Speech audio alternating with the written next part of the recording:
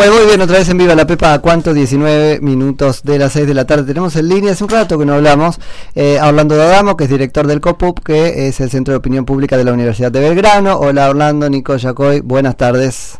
Muy buenas tardes, Nico, ¿cómo están todos por ahí? Bien, muy bien, gracias Che por atendernos. Eh, bueno, ahí tienen números eh, muy interesantes porque tienen que ver con qué pensamos los ciudadanos sobre la, bueno, la elección que se viene, que son las PASO, ¿no?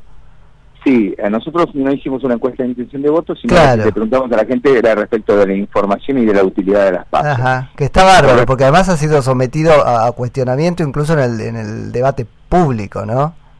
Sí, eh, ha habido opiniones a favor y en contra. En general, las opiniones en, en el público quedan, en la opinión pública quedaron divididas.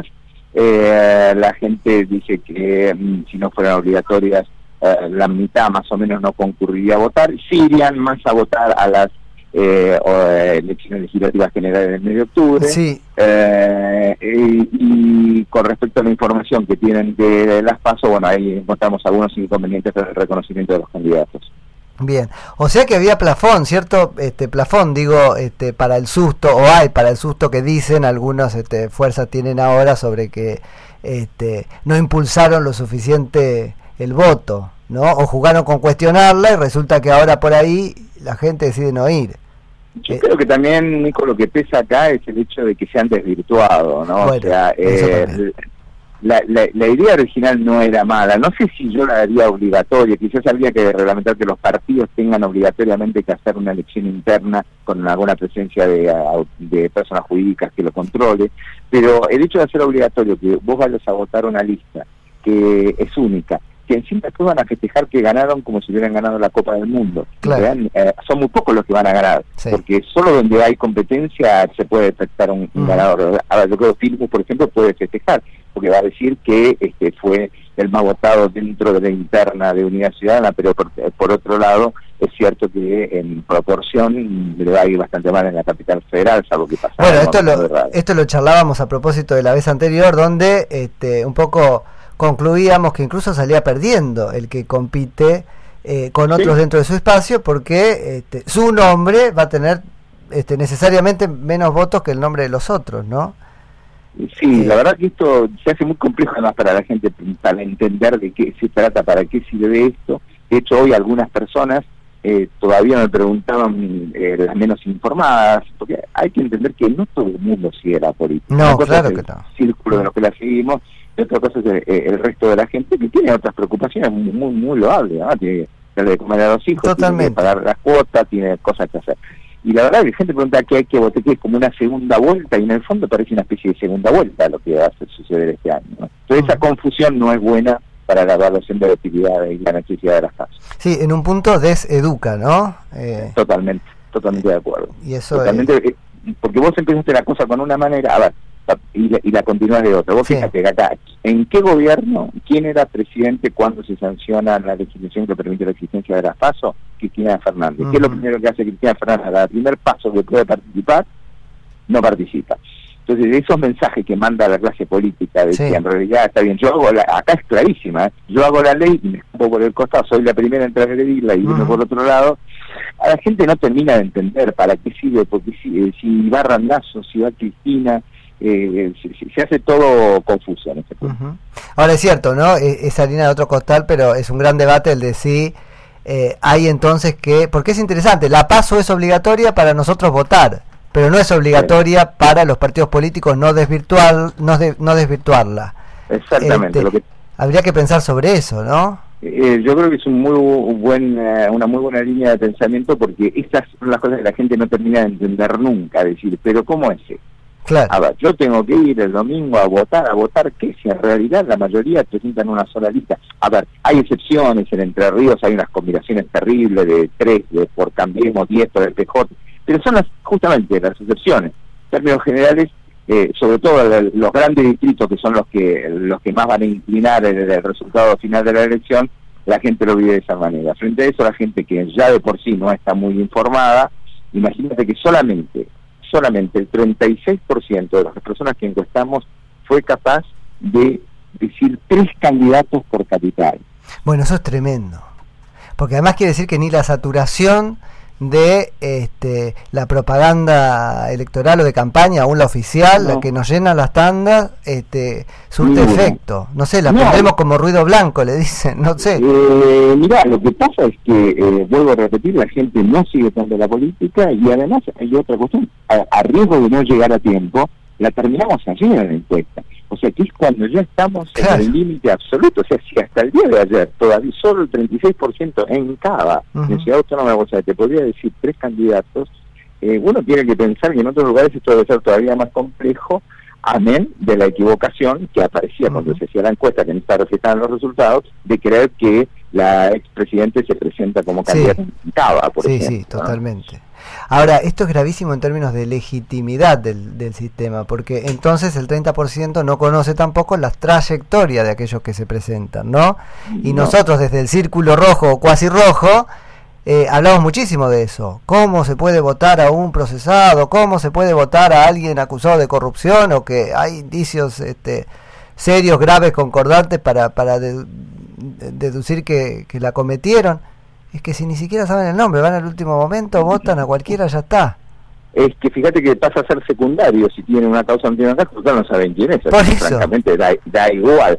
Lo cual nos hace que a veces estemos discutiendo en niveles muy distintos. Muy distintos, sí. Eh, eh, donde a algunos les preocupan mucho unas cosas que no les preocupan a otros. A otros. Por otro lado, eh, preguntamos si creían cuáles iban a ser los temas de la campaña y en realidad se repartieron muy parejamente entre que eh, un tema importante va a ser la corrupción, pero para la oposición, que ha sido su, agenda de campaña, también casi tanto como lo económico.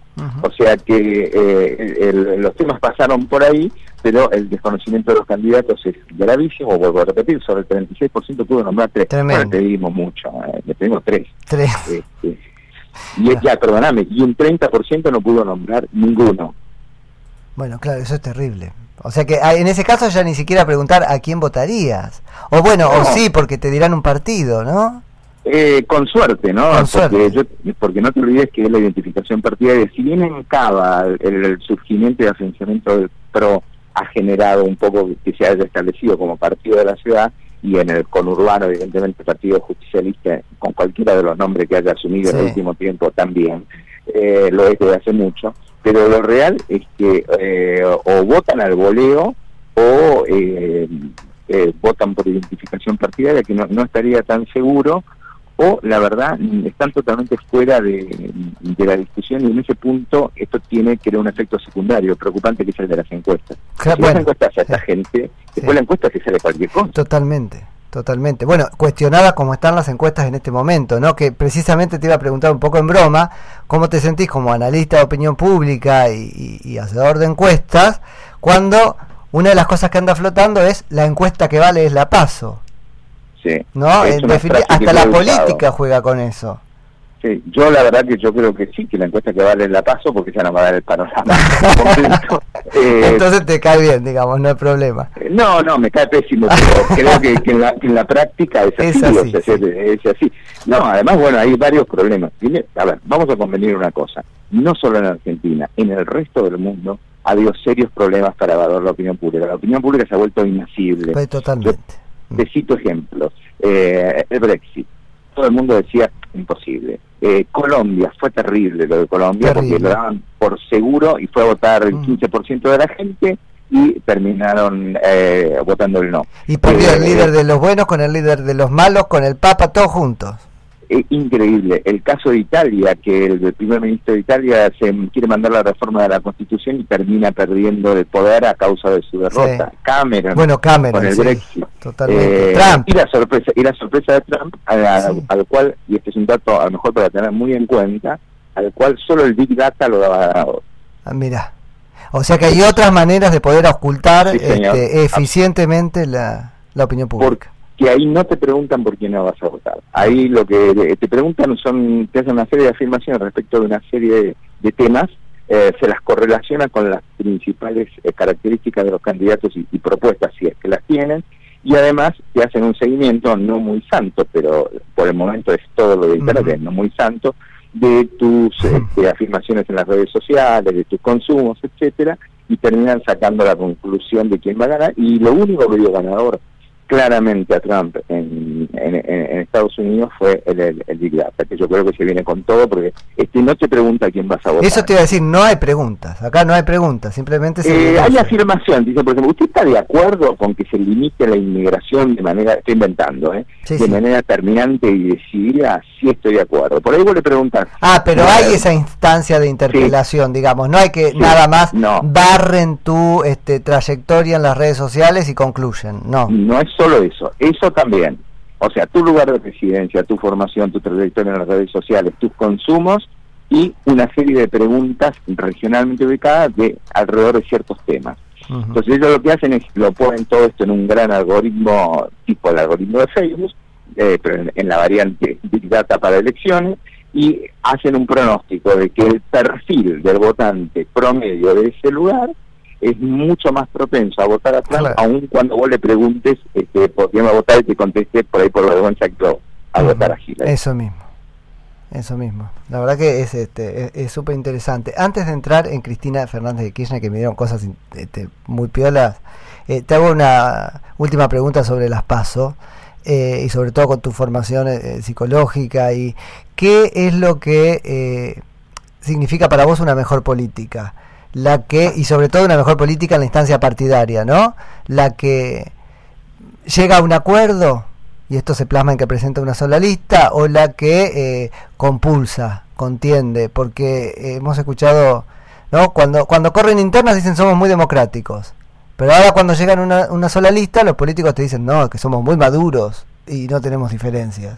Mira, yo creo que si estable. Yo preferiría que, porque creo que las hay, que salvo excepciones muy bien fundamentadas, con suponente el voto masivo de los afiliados a favor, un voto o una suscripción de firmas, cosas como las que hacen, por ejemplo, en Uruguay, que legitiman el procedimiento, haya competencia, porque en el fondo uno sabe que la mayoría de las veces hay competencia. A ver, Elisa Carrió es una candidata en capital que francamente sería muy difícil que alguien se le hubiera atrevido en una interna a enfrentarla porque eh, es la candidata ideal para una legislativa en capital. Sí. Eh, pero no siempre es así. O sea, una cosa son las excepciones y otra cosa que... No, además, Orlando, corres para meter el tercero, el cuarto, no sé. Exactamente también, ¿no? O sea que eh, yo pienso que lo ideal, si tenemos paso, es que haya interna. Y si ponele, se puede compulsar fehacientemente que los afiliados del partido, de manera mayoritaria y, toman la postura de que no haya interna, bueno, entonces eh, eh, excepcionalmente podría ser. Ah, qué interesante. Y es decir, es el partido, los afiliados al partido, lo que te autorizan a prescindir de la contienda.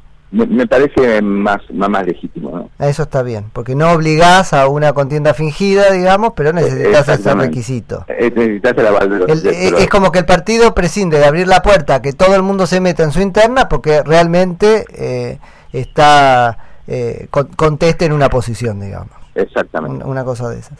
Eh, contanos lo de, lo de Cristina Fernández de Kirchner, que vi que han medido, por ejemplo, si cambió o no cambió la percepción que hay sobre su discurso y, Bueno, la, percepción de Cristina es que para la mitad cambió y para la mitad no cambió. Yo creo que esto es lo que nos marca en el fondo es que la gente no sigue las campañas. Ah, bueno, es una buena explicación. Yo no lo entendía. ¿eh? Digo, ¿cómo podés decir que no, cambió? No, tampoco, pero cuando hicimos, nosotros siempre hacemos una cualitativa para él. Y en realidad la, explicación pasaba por él, porque la gente no sigue la campaña. Y para nosotros, los que estamos en el círculo rojo de esto, este, es muy claro que anda con ese look eh, setentista universitario. Sí, sí, sí. Este, y, que dejó la, alta gama de las marcas y etcétera, de, de indumentaria. Y la verdad es que eso es lo que seguimos la campaña, porque el resto no sabe. Entonces, la verdad es que la mitad fue muy, muy notable. Entre el 49 y el 50% de la que cambió, tanto en su forma de decir como en su forma de hablar, y por otro lado hay un equivalente que te dice que o no cambió o que no sabe si cambió o no cambió porque no le prestó atención.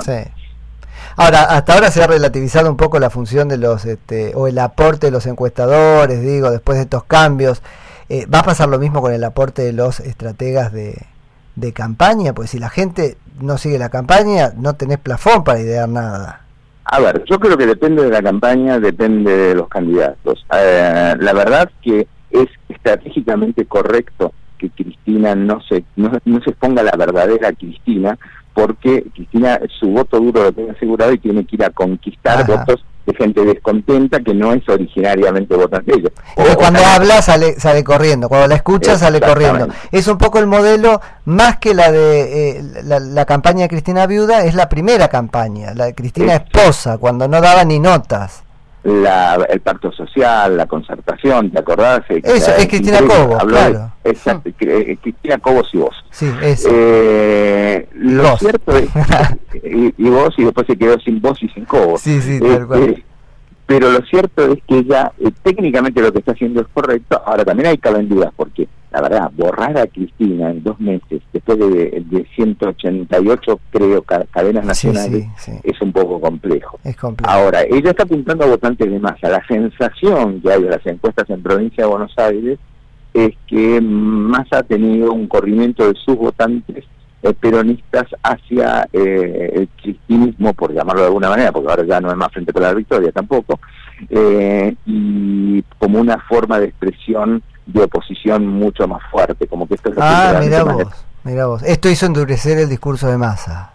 Y por eso Massa está tratando de buscarlo. Vos fíjate que mm. entre los dos, Massa toma una postura muy de capturar al voto bien, al voto peronista, y en cambio eh, Stolbizer tomó una línea más de acercarse a los descontentos de Cambiemos, donde ya tiene evidentemente llegada. Eh, así que mm, lo que eso marcaría un poco el resultado de las encuestas, donde se vería, hasta donde podemos creer hoy en día, una bajada de masa en provincia de Buenos Aires eh, y una subida de Cristina a valores más altos de los que veníamos estado, teniendo estos últimos días, todavía con un 10% de indeciso que te puede mover anteriormente. Ni te lo iba a preguntar acá, pero viste, sí, esas cosas que andan dando vueltas ahí es como que dan eso. Eh, veremos qué pasa. Es decir, que no se habría movido el amperímetro para el lado eh, en el que esperaban los estrategas de la campaña oficialista ah, en el último tiempo. No, todavía no. Quizás eso pase, porque esa era parte de la estrategia general, si Cristina aparece como una muy potencial vuelta y de acá a octubre se plantea bueno, miren, ahora sí que quedó muy claro, nosotros se lo dijimos, ¿no? Es ella o nosotros y somos los únicos capaces de ganarle, sobre todo si Massa queda disminuido. Sí. Eh, ahora, es, jugar al límite mal, Orlando, claro. Sí, totalmente de acuerdo con vos, o sea, esto sí que es jugar al límite muy al límite. Si sale bien, Durán Barba va a subir al podio de, los, dioses en, eh, comunicólogos. ¿Cómo, ¿Cómo será que le están dando bola que hasta Lilita exagera que no lo quiere por, por teñido para que no se note que está cumpliendo su pauta, ¿viste? Es, exactamente. Eh, y la verdad, esto es lo que por el momento va apareciendo con un dato que habría que tener en cuenta porque ya ha pasado que sobre los indecisos Cristina tiene poco ascendiente, porque uno puede Ah, mira, o sea que la proyección ahí va a ser, este, no, no es proporcional como se haría otras veces. No, porque vos no puedes ser indeciso con Cristina. No, tal vos cual. puedes ser indeciso de saber si vas a votar a Massa o de si vas a votar a, Cambiemos o si vas a votar a Randazo, mejor tal cual, todavía. Tal cual. Sí, sí, sí, Pero si, si te vas a quedar, ahora, Cristina ya se sabe cómo es, o sea, no hay nada que descubrir. O sea, no tendrás que decidir esta semana si le vas a votar a Cristina, digamos, mayoritariamente. Ahora, Porque ahí cosecharían más los otros que Cristina. Ahora, ¿cómo se empieza a ver, no? Que los candidatos hablan ahora de esos indecisos. El gobierno, ¿no? La, la ves a Lilita pidiendo perdón por algunos errores, por ejemplo. Y está bien, pero es lo que el manual dice. pero, está bien, claro. Sí, perfecto. Eh, primero le hablas a los tuyos y después tienes que hablar a los indecisos porque en casi todos los países son los que inclinan la balanza. Sí, el número de indecisos es este siempre, incluso de los que son indecisos hasta el momento del cuarto oscuro es grande en Argentina, ¿no? en, este momento, hoy, según las encuestas, no es una medida mía, sino lo que he leído en el promedio, hoy, en el día de hoy, estaría en el orden del 10%. Ajá.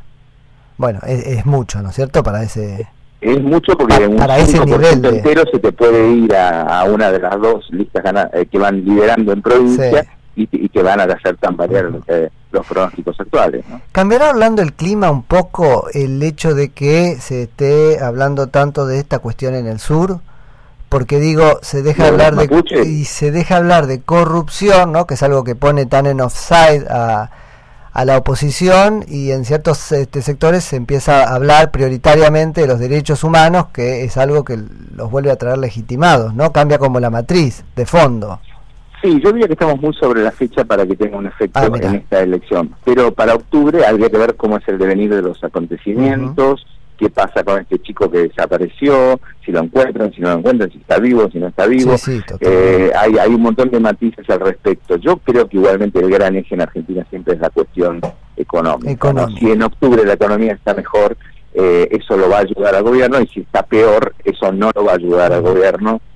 Aunque recordemos que eh, Vidal en su momento le descontó nueve puntos al PJ Totalmente. de Buenos Aires, ¿no? Pero bueno, era Vidal también y era otro contexto. Sí, pero bueno, eh, ahí hay como la posibilidad de que esos brotes sigan germinando, ¿no? En la economía. A veces se juega un poco eso. Eso, eso, es lo que dice, hasta se le escapó la baña el otro día, lo escuché, cuando estaba tratando de explicar eh, qué había pasado el primer año y el segundo año, y dijo, bueno, la recuperación del segundo año no alcanza a compensar la pérdida del primer año, por eso estamos abajo, pero en realidad... Sí, sí, está reconocido reconoció, se le escapó, y bueno, el economista ahí lo pudo, ¿no? Porque como maneja los datos duros, él quiso ceñirse a lo que le, indicaban los Está muy bien. Orlando, te agradezco muchísimo por la charla. No, Saludos grande. Hasta, la próxima. Abrazo grande. Era Orlando D'Adamo, que es director del COPUP, que es el Centro de Opinión Pública de la Universidad de Belgrano. Ani. Tenemos muchos mensajes de nuestros oyentes. Merix nos dice en nuestra cuenta de Twitter, arroba viva la pepa ok. Yo creo que sí los mataría porque usan a los pobres y ella los hacía ascender, mejorar y no soy peronista. María nos dice, Evita tenía bastantes rasgos autoritarios y odiaba a la clase alta. Era bastante resentida por su origen como la de Tolosa. No sé, para mí, dice María, son todos peronistas y no me gusta para nada. Hay algunas excepciones que confirman la regla. Por último, y en un ratito ya vamos a la tanda, Albert nos dice, Evita no estaría con Cristina, nunca tuvo un cargo para ejercer poder, enseñaba al pueblo a exigir y no ser mansos. El pueblo la quiere por ser auténtica y no falsa como Cristina Alberto de Lomas. Muy bien, ¿hacemos pausa? Dale. Vamos. Radio Concepto, Ciudad de